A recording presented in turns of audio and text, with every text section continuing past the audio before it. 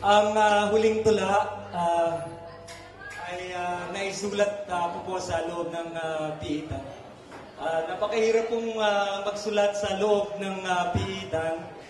Ah, ah, subalit ah, ito po ang ah, naging ah, pangunahin kong tungkulin sa panahong ako ay uh, nakabilanggo. Ah, isa rito ay ah, ang tulang ah, astig. Nakadagan sa dibdib ko ang talampakan ng es... Ah, teka. Sige, ah, para medyo new school naman.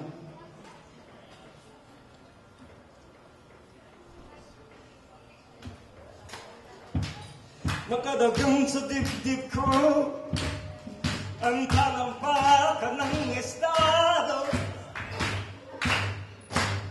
Nakadagang sa dibdib ko. Ang talampakan ng estado. Mm, Isang tambak na mga bloke ng simento. Oh,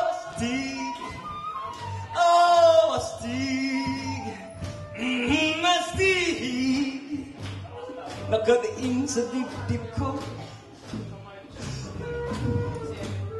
Sila Nakadiin sa dibdib ko Ang mga tuhod niya at siko Nakadiin sa dibdib ko Ang mga tuhod niya at siko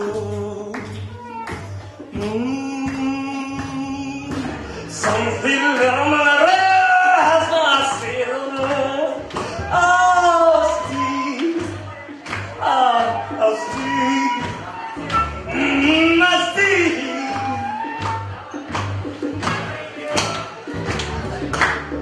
Ah, ang uh, tulang ito ay uh, uh, inaalay ko nung uh, uh, kay uh, kasamang na Tirso Alcantara na matagal na uh, nainawakan ng uh, gitara sa Ford Bonifacio. Uh, mahigit na dalawang taon.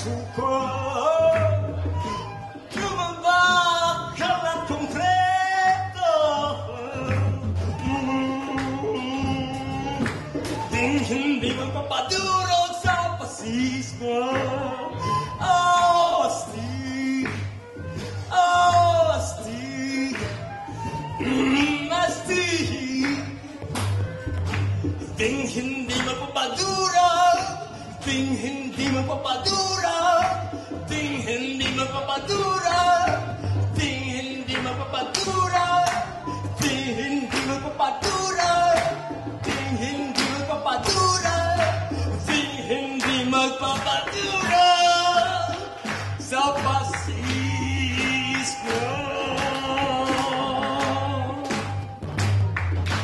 Maraming salamat pa